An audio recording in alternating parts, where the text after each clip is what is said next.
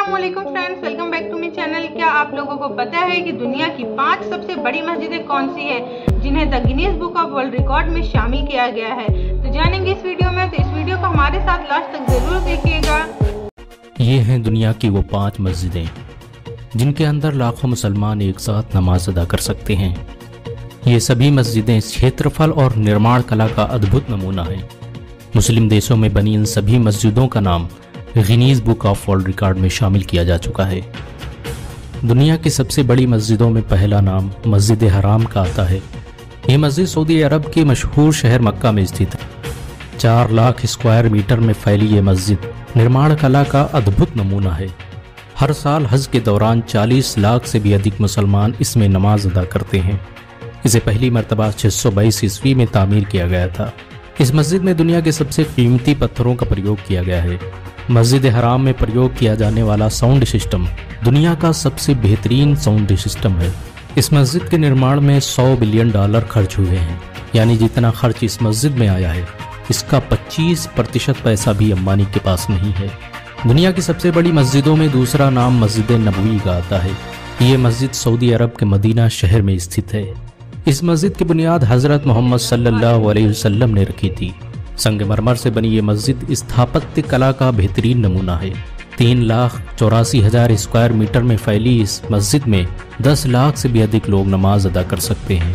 अरब द्वीप में पहली बार मस्जिद नबवी में ही इलेक्ट्रिक लाइट का प्रयोग किया गया था। ईरान के शहर मशहद में बनी मस्जिद अली दुनिया की तीसरी सबसे बड़ी मस्जिद है। इस मस्जिद में एक साथ छः लाख मुसलमान नमाज़ अदा कर सकते हैं। दो लाख छाछठ हज़ार स्क्वायर मीटर में फैली ये मस्जिद। इस्लामी दौर की एक सुनहरी यादगार है। इसके एक बड़े हिस्से को सुल्तान महमूद गजनवी ने निर्मित करवाया था। इस मस्जिद के क्षेत्रफल का अंदाज़ा इसी बात से लगाया जा सकता है कि इस मस्जिद में एक लाइब्रेरी, एक म्यूज़ियम और चार सेमिनार हॉल मौजूद हैं। इस मस्जिद की देखरेख में कई सौ करोड़ रुपये का खर्च आता है। दुनिया की सबसे बड़ी मस्जिदों की लिस्ट में चौथा नाम मस्जिद इस्तिकलाल का आता है। इंडोनेशिया के जकार्ता शहर में बनी ये मस्जिद क्षेत्रफल और निर्माण कला के लिहाज से एक शाहकार मानी जाती है। ये मस्जिद इंडोनेशिया की राष्ट्रीय मस्जिद है। इसका निर्माण 22 फरवरी 1978 को हुआ था।